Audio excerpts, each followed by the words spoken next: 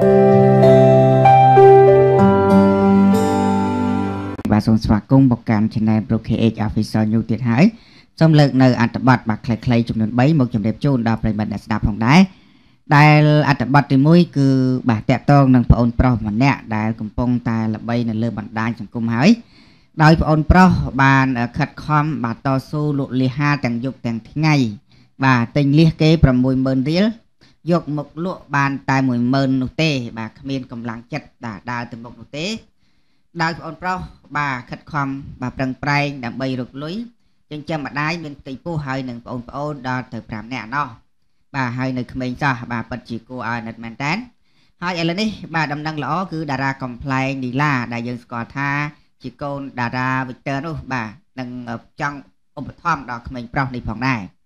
បាទប្រិមិត្តទៀតយើងមកតាមដានលំអិតបានថែមនៅអត្ថបទនេះអត្ថបទទី2គឺតកតងនឹងបាទកូនកំឡោះកូនក្រមុំវ័យក្មេងទៀតហើយដែលមើលទៅពិតជាស្រស់ស្អាតមែនតែនប៉ុន្តែខាងកូនកំឡោះរៀងក្មេងជាងខាងកូនក្រមុំប៉ុន្តែបាទអ្នកទាំងពីរបាទស្រឡាញ់គ្នាក៏បាន បាទរៀបការជាមួយគ្នាហើយក៏មានបងប្អូនអ្នកលេងបណ្ដាញសង្គមបាទរិះគន់ខ្លះខ្លះផងដែរអាមិនទៅរិះគន់គេអញ្ចឹង បាទទៀតយើងមកតាមដានលំអិតនៅអត្ថបទនេះហើយអត្ថបទទី3បាទគឺតកតងនឹងហួសចិត្តបាទតឡាការហៅបីដងទៅហើយអត់ចូលមកដោះស្រាយពេលនេះត្រូវបានសមត្ថកិច្ចខាត់ខ្លួន បាទស្ត្រីម្នាក់ដែលមានឈ្មោះថា នៅចន្ទ្រា បាទដោយដែលប្រិមិត្តដឹងហើយនៅចន្ទ្រាកាលពីមុនគឺជាអ្នកតំណាងបច្ចេកចាយឲ្យក្រុមហ៊ុន CTM ដែលយើងស្គាល់ថាត្រូវកែនោះគឺជាលោកស្រីទីដាណា ហើយបើតាមលោកថតនេះគឺបាទធ្លាប់ចូលស្បត់ស្បែកសច្ចាប្រណិធានជាមួយនឹងលោកស្រីដែរប៉ុន្តែហេតុអ្វីបានជាបាទមករកស៊ីបាទបោកប្រាស់កូនក្រុមរបស់ខ្លួនទៅវិញបាទឥឡូវនេះក្រោយគឺរឿងកើតហេតុបាទត្រូវបានលោកស្រីត្រីដាណានឹងបានបញ្ឈប់បាទជាតំណាងចាយចាយហើយហើយលោកស្រីត្រីដាណាក៏ចូលរួមប្តឹងបាទទាមទាររកយុត្តិធម៌ឲ្យកូនក្រុមផងដែរបាទមិនតិចណាប្រមូលលុយគេដល់ទៅ71លានដុល្លារណោះបាទទៅទៀតប្រិមិត្ត បាទអញ្ចឹងប្រិមិត្តមកតាមដានជាមួយខ្ញុំបាទនៅអត្ថបទបាទទាំងនេះដូចតទៅ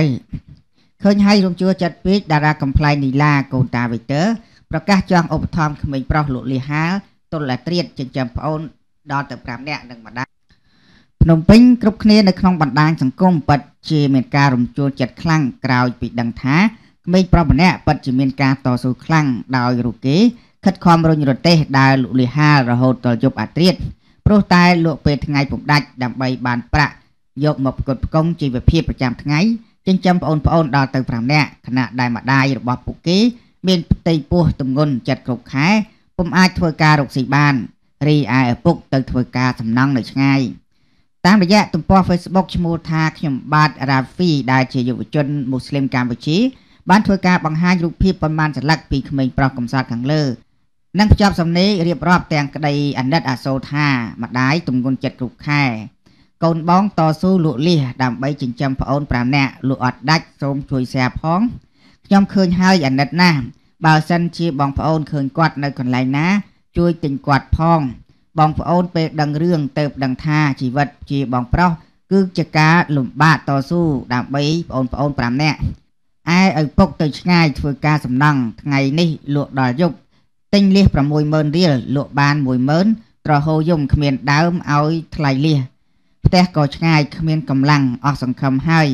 ដើរមិនដល់គិតពីម្ដាយចិត្តសម្រាកូនបងប្អូនចាំបាយជីវិតនិងគ្រួសារហើយបើសិនជាបងប្អូនចង់ជួយគាត់អាចទំនាក់ទំនងមកលេខទូរស័ព្ទ081 641 318ខ្ញុំនឹងជូនទៅជួបគាត់ក្រោយពីបានឃើញបែបនេះហើយទន្ទឹមនឹងនេះផងដែរក៏មានមហាជនជាច្រើន បានសម្ដែងនៅក្តីការកោតសរសើរពុំដាច់ពីមាត់ចំពោះការខិតខំរបស់ប្អូនប្រុសនោះគណៈដែលអ្នកខ្លះទៀតក៏ព្រោះតែឃើញអាណិតពេកក៏បានផ្ដល់ជាយោបល់ថាអាណិតក្មេងណាស់ទៅតែអាយុប៉ុណ្ណឹងសោះចេះដឹងសុខទុក្ខគ្រួសារតែម្ដាយគួរតែឈប់យកកូនទៀតទៅអាណិតក្មេងណាស់កើតមកពិបាកដដែលអាណិតណាស់ជាមួយគ្នានោះផងដែរដោយក្តីអាណិតអាសូរទៅដល់ក្មេងកំសត់តស៊ូជំនះដល់ឧបសគ្គ ជួយដល់គ្រួសារបែបនេះកូនស្រីលោកតាវិចទ័រតារាកំ pl ែងកញ្ញាលីឡាបានប្រកាសស្វែងរកក្នុងបំណងចូលរួមជួយឧបត្ថម្ភទៅដល់ក្មេងប្រុសទៅតាមសទ្ធារបស់ខ្លួនដោយបានបញ្ជាក់ថាចង់ជួយគាត់ទោះមិនមានលុយច្រើន ជួយក៏ចង់ជួយគាត់ដែរបាទប្រិមិត្តនេះគឺតកតងនឹងប្អូនប្រុសម្នាក់ដែលយើងស្ដាប់ហើយបាទពិតជាកំសត់មែនតែនហើយយើងមើលទៅបាទទឹកមុខគឺស្រងោតស្រងាត់បាទស្រក់ទឹកភ្នែកទិញលះគេ60000រៀលបាទយកមកលក់ លក់បានតែ10000ទេអត់មានកម្លាំងដើរទៅផ្ទះឥឡូវនេះត្រូវបានបងប្រុសម្នាក់នោះបាទជិះម៉ូតូបាទឌុបយកទៅផ្ទះហើយក្រោយពីបង្ហោះសារមកបាទធ្វើឲ្យអ្នកលេងបណ្ដាញសង្គមមានការណិតសូដល់ប្អូនហើយក៏សរសើរនៅទឹកចិត្តដែលប្អូនចេះគិតបែបនេះបាទពិតជាលំបាកណាស់កើតនៅក្រោមមេឃតែមួយហេតុអ្វីក៏បាទជីវិតខុសគ្នាបែបនេះ បាទនេះបាទកញ្ញាលីឡាដែលយើងស្គាល់ថាជាតារាកំ pl ែងល្បីមនុស្សបាទចង់ជួយប្អូនប្រុសផងដែរបាទសូមអបអរសាទរបាទប្រិមិត្តចូលបញ្ចប់អត្ថបទហ្នឹងហើយយើងមកតាមដាននៅអត្ថបទមួយទៀតមិនធម្មតាទេអាយុគ្រាន់តែទ្រលេខជូនពោឲ្យគាត់ស្រឡាញ់គ្នាឲ្យបានយូរប៉ុន្តែត្រូវបានមហាជនលន់មាត់ថាមានការផ្ទុះចាប់អារម្មណ៍ជាថ្មីម្ដងទៀតក្រោយលេចធ្លាយនៅរូបក្មេងប្រុសនិងមនុស្សស្រី មានវ័យច្រើនជាងបានរៀបមង្គលការជាមួយគ្នាយ៉ាងផ្អែមល្ហែម ដោយមិនខ្វល់ពីមាត់អ្នកចិត្តខាងនិងមហាជននៅក្នុងបណ្ដាញសង្គមឡើយដោយក្នុងរូបប៉ុន្មានប្រហែលជា3សន្លឹកអាចបញ្ជាក់ថាប្រុសពិតជាក្មេងពេកហើយសម្រាប់ពិធីមង្គលការមួយនេះរហូតដល់មានមហាជនជាច្រើន បានចូលទៅខមមិនខុសៗគ្នាថាគាត់នៅក្មេងសោះបានរៀបការទាំងហើយយ៉ាងណាក៏ក្រាន់បើជាងអ្នកអត់លិតដែរនិស័យស្នេហ៍បៃជីតកាលពីចិត្តមុនពួកគាត់បានសបាត់សញ្ចាថាយើងនឹងកើតជាប្តីប្រពន្ធម្ដងទៀត ប៉ុន្តែជាអកុសលខាងស្រីចាប់កំណើតមុន ការសាងគ្រួសារទាំងវ័យក្មេងគឺជួបហានិភ័យច្រើនណាស់បើអាចគួរតែរៀនបន្ត និងមានការងារមួយច្បាស់លាស់ហើយសងគុណពុកម៉ែបន្តិចសិនទៅចាំមានក៏ល្អដែរបាទប្រិមិត្តនេះគឺតកតងនឹងបាទគូស្នេហ៍មួយគូដែលកំពុងតែបាទផ្ទុះការចាប់អារម្មណ៍ផងដែរដែលមើលទៅបាទក្មេងបាទក្មេងៗខាងប្រុសក្មេងជាង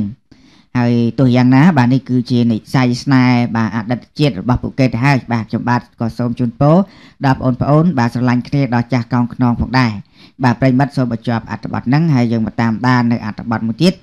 ហួសចិត្តបាទតុលាការក៏ហៅ3ដងមិនចូលខ្លួនដោះស្រាយពេលនេះសមត្ថកិច្ចខាត់ខ្លួនស្ត្រីឈ្មោះថានៅចន្ទ្រាដែលបានបោកលុយតំណាងចែកចាយរហូតដល់7លានដុល្លារ កម្លាំងសមត្ថកិច្ចនគរបាលព្រំប្រទានក្រសួងមហាផ្ទៃបានចាប់ខាត់ខ្លួនស្ត្រីម្នាក់ឈ្មោះថានៅចន្ទ្រាជាតំណាងចែកចាយលក់ផលិតផល brand ថ្មី CTM គ្រឿងសម្អាងពីបទឆបោកតាមពាក្យបណ្ដឹងកូនក្រុមចំនួន12នាក់ដោយប្រមូលលុយ71លានដុល្លារហើយមិនប្រគល់ផលិតផលឲ្យកូនក្រុមនិងមិនទូទាត់លុយឲ្យម្ចាស់ brand ដោយយកលុយទៅទិញផ្ទះនិងសម្ភារៈនិយមទៅវិញ ហេតុការណ៍ខាត់ខ្លួនខាងលើនៅវេលាម៉ោង10:30នាទីព្រឹកថ្ងៃទី27ខែធ្នូឆ្នាំ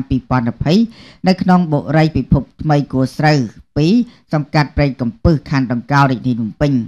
ការចាប់ខាត់ខ្លួននេះធ្វើឡើងតាមដីកាបញ្ជាឲ្យចូលខ្លួនរបស់លោកគុជកំឡុងព្រះរាជអាជ្ញានៃអัยការអមសាលាដំបងរាជធានីភ្នំពេញតាមពាក្យបណ្ដឹងបទឆបោកដោយតម្រូវឲ្យចូលខ្លួននៅថ្ងៃទី25ខែធ្នូឆ្នាំ2020ប៉ុន្តែមិនបានចូលខ្លួនទេហើយដីកានេះក៏បានបញ្ជូនទៅកាន់នាយកដ្ឋាននគរបាលព្រំប្រទានក្រសួងមហាផ្ទៃដើម្បីប្រើប្រាស់កម្លាំងសមត្ថកិច្ចខាត់ខ្លួនជាក់ស្ដែងបើនៅតែរងរុះមិនចូលខ្លួននោះ។ សូមជម្រាបថាជនសង្ស័យឈ្មោះថានៅចន្ទ្រាជាអតីត brand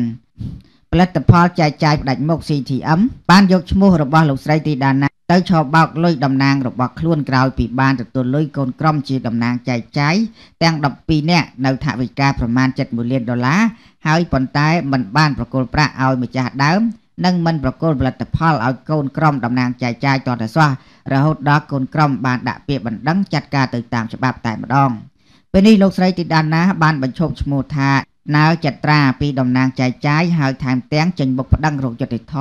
ជូនដល់កូនក្រុមដែលរងគ្រោះទាំងអស់នោះថែមទៀតផង